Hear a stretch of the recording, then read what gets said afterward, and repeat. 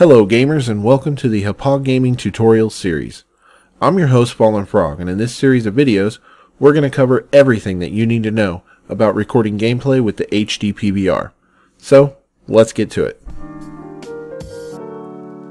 For this lesson I'm going to show you one more option for having excellent game recordings called XSplit and it works with your HD PVR2 or Rocket. Now I mentioned OBS first because it's free and it's a good choice for recording or streaming gameplay. In fact, it doesn't matter how you do it. You can record and upload directly from your console now, or use Hauppauge Capture, OBS, or any other method you're comfortable with. But if you're interested in a more professional recording or streaming service used by thousands of people every day, with support for a wide range of streaming sites, and almost unlimited potential, then check out XSplit.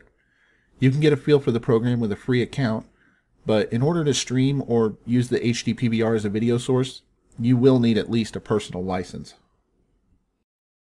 So, let's get XSplit downloaded and installed on your PC. You can find it here at xsplit.com. You can also find out more about the personal and business licenses offered there.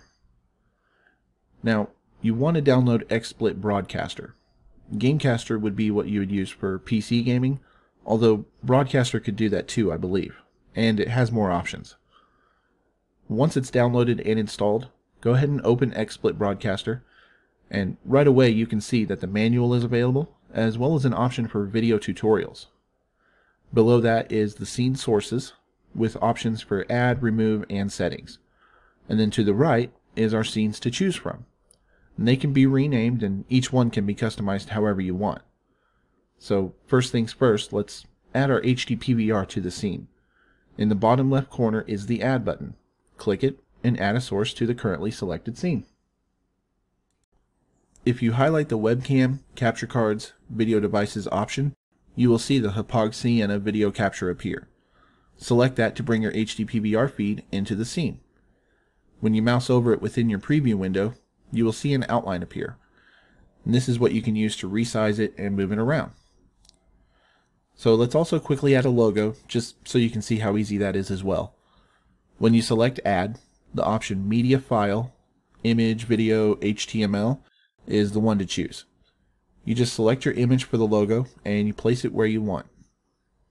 Now you can of course add video, audio files, animated images, and even full web pages to your scenes.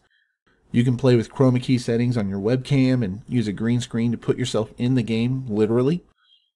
XSplit and even OBS as well both feature plugins that you can download to add even more functionality.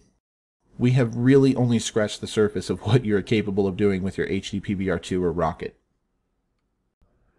And that's going to do it for this lesson. In the next video, I'm going to talk about what to do to make your channel grow. You already have the knowledge to make an awesome YouTube channel or Twitch stream, so I'll discuss things like sponsorships and channel growth. I'm Fallen Frog from Hauppauge Gaming. Remember to like and subscribe if this video helped you, and thanks for watching.